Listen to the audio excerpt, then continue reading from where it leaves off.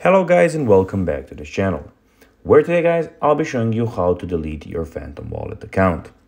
So guys, the first thing that you of course need to do is go to your App Store and download the Phantom Wallet application. Now when you did that, you just need to go and log into your account. When you did that, you just need to go and connect your wallet and but guys if you're struggling with both of these things, you can of course go to our YouTube channel where you have plenty of how to Phantom Wallet videos where you can see how you can do this. Now guys, that we got that out of the way, let's see what we actually have in front of us here. So as you can see here, we have the Phantom Wallet application where you have a lot of different options. Here we can receive, buy, and send tokens.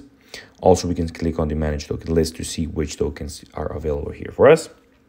Also, in the top left corner, we have uh, everything about your account. So can, you can manage your account, preferences, see security and privacy, active networks, address book, connected applications, developer settings, help and support, and about Phantom.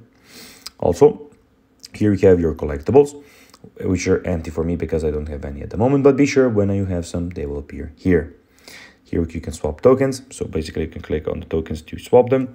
And here we can go and see recent activity, which is of course again empty for me because I don't have any at the moment.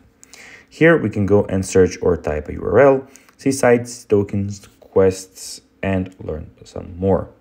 But now guys, let's see how to delete your Phantom Wallet account.